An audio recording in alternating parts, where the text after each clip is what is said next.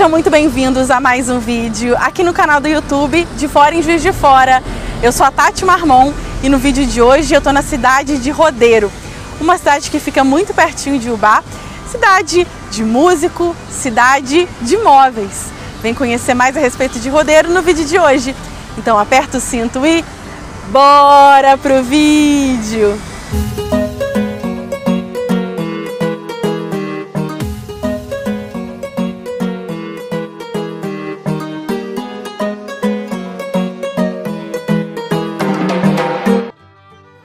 Rodeiro é uma cidade da zona da Mata Mineira que fica a 286 quilômetros de Belo Horizonte, o que dá aproximadamente 4 horas e meia de viagem, e a 15 quilômetros de Ubá, dá cerca de 20, 25 minutos. Bem pertinho, né?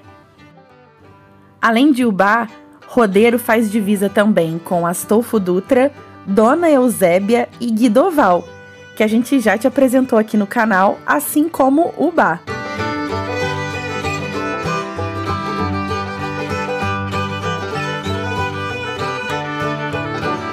Rodeiro tem quase 8 mil habitantes e a sua economia tem como base a indústria moveleira, já que fica localizada na região de Ubá, polo moveleiro.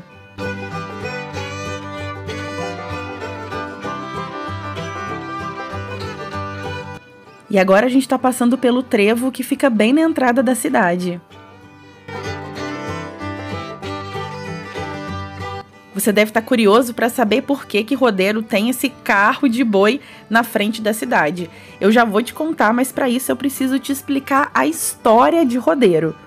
Ela foi descoberta no ciclo do ouro, quando a região do rio Pomba começou a ser explorada para as lavouras.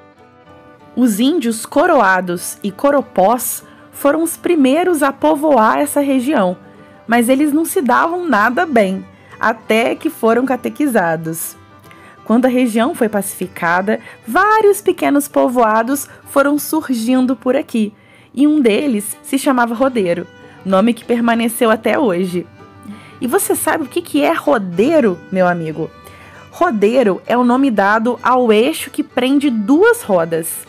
E por falar em rodas, aqui tinha um fabricante de rodas de carro de boi e carroça chamado Manuel Lino Isidro. Todo mundo que ia lá comprar as rodas dizia: Ah, eu vou lá no rodeiro. Ou seja, eu vou lá na casa do homem que fabrica rodas. E o nome pegou e ficou. Por isso que no trevo da entrada da cidade tem a foto de um carro de boi.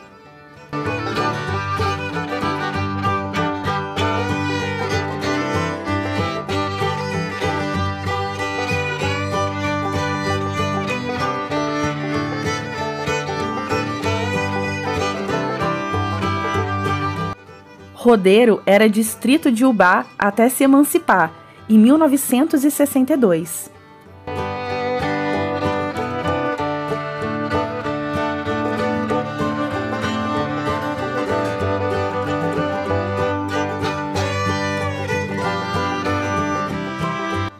Quem nasce em Rodeiro é rodeirense. E tem o rodeirense que é muito talentoso, o orgulho da cidade. Eu tô falando do cantor e compositor Zé Geraldo, autor de Senhorita e de muitos duelos com Renato Teixeira e outros violeiros. Minha amiga senhorita, eu nunca pude lhe dizer. Uma estátua de bronze em homenagem ao Zé Geraldo foi instalada no trevo da entrada da cidade em 2001.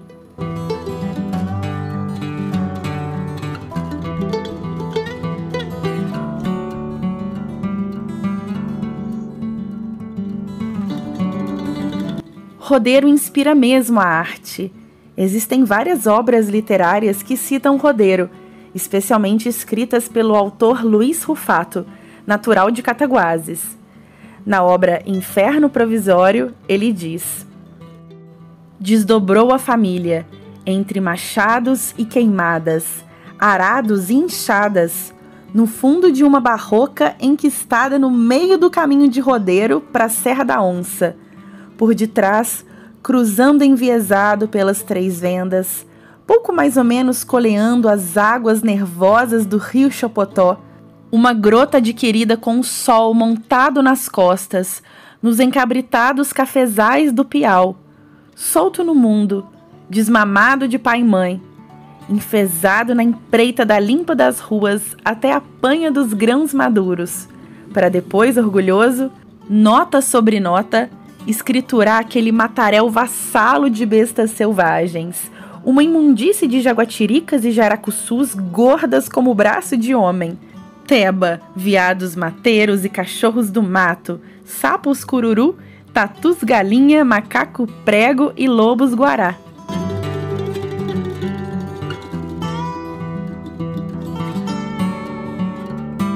E a gente chegou na Praça São Sebastião, a praça principal da cidade. É aqui que tudo acontece.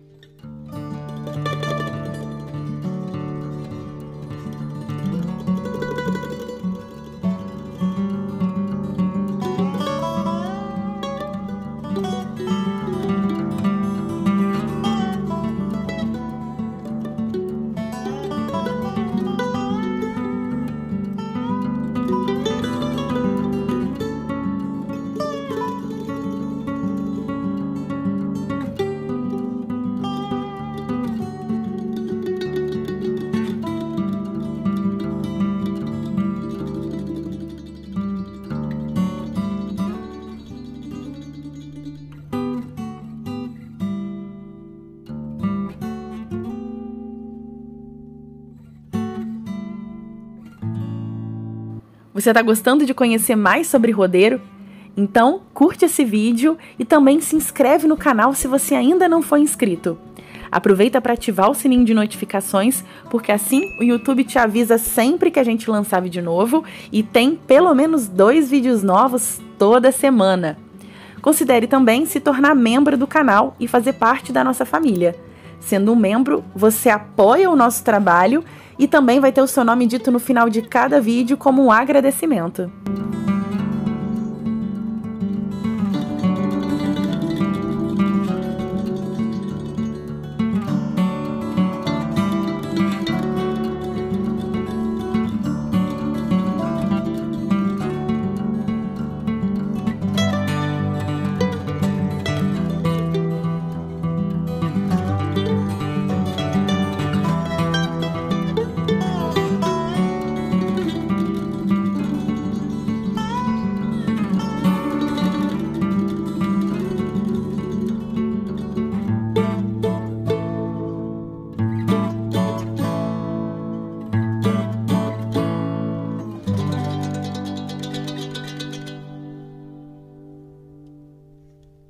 A gente acabou de passar pela parte comercial de Rodeiro e agora vamos conhecer um pouquinho mais da parte residencial da cidade.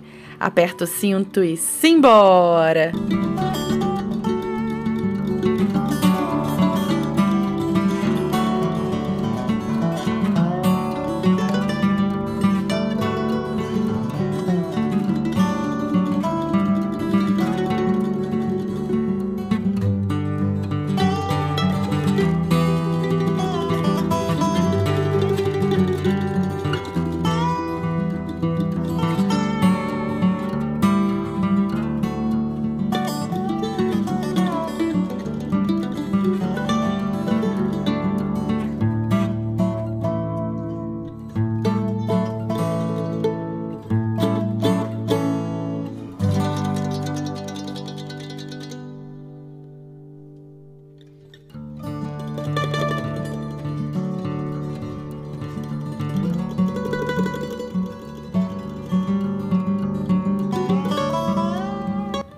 E essa é a igreja de São Sebastião do Rodeiro.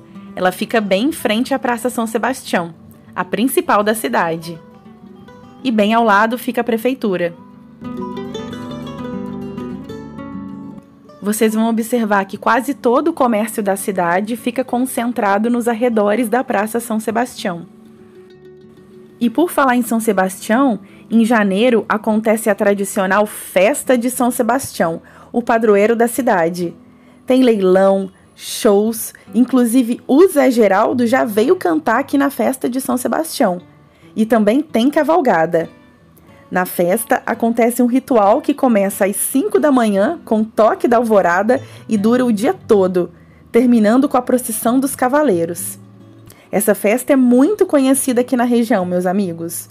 É o principal evento de rodeiro, mas a cidade realiza muitos outros, que vão desde festival gastronômico até a meia maratona de rodeiro e encontro de trilheiros de motocross.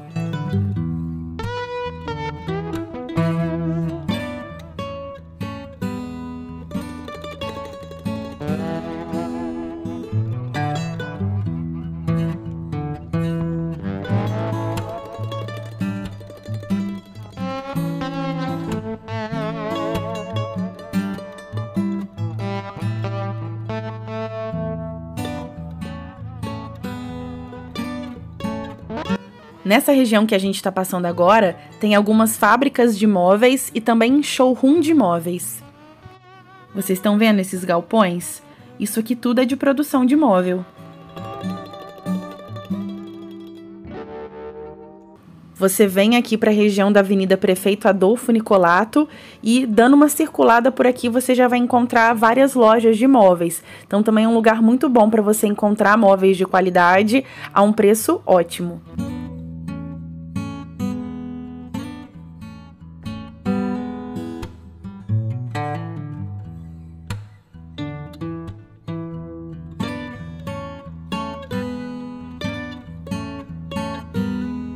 A temperatura anual média em Rodeiro é de 25 graus.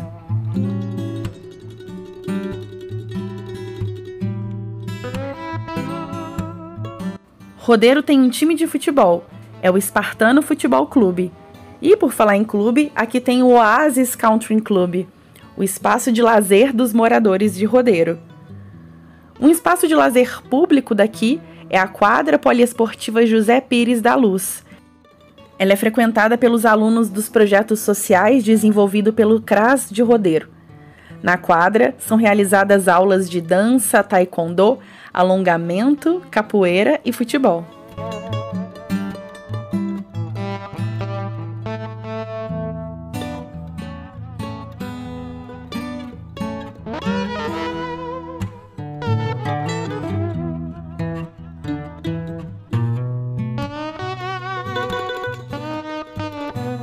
Essa é a Igreja do Rosário, aqui de Rodeiro.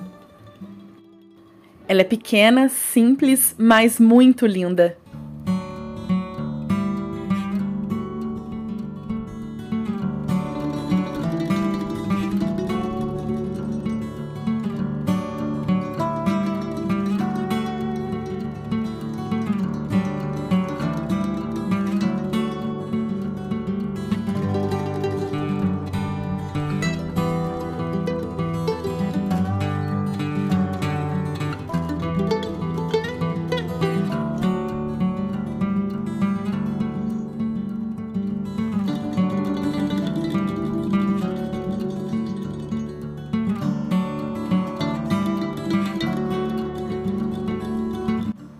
Os fãs de espaços naturais, a região do Rio Chopotó pode ser uma opção. E o curioso é que o rio muda de nuance e de textura dependendo da época do ano. Por exemplo, no verão, que é o período das cheias, o pessoal vai para as margens do rio praticar pesca esportiva. Já na época da estiagem, o rio Chopotó forma várias quedas d'água e é muito gostoso de se admirar, mas não pode nadar no rio.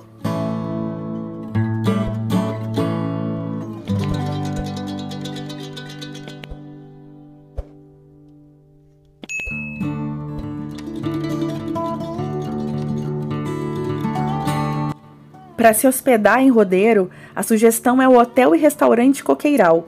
Ele fica bem na entrada da cidade, pertinho do trevo, onde tem a estátua do Zé Geraldo. Você pode aproveitar para almoçar lá também. O cardápio deles é bem vasto, tem para todos os gostos. E outra dica de lugar imperdível para se alimentar em Rodeiro é a panificadora Esquiavon. Tem várias delícias lá. Você não pode deixar de passar por essa padaria e confeitaria para provar alguns quitutes mineiros. Eu vou deixar o contato tanto do hotel e restaurante quanto da panificadora, aqui na descrição desse vídeo. Mas me conta, o que você está achando de Rodeiro? Você já conhecia a cidade? Coloca aqui para mim nos comentários quais foram as suas impressões. Eu queria mandar um beijo para todos os moradores de Rodeiro e um beijo mais que especial para os membros aqui do canal.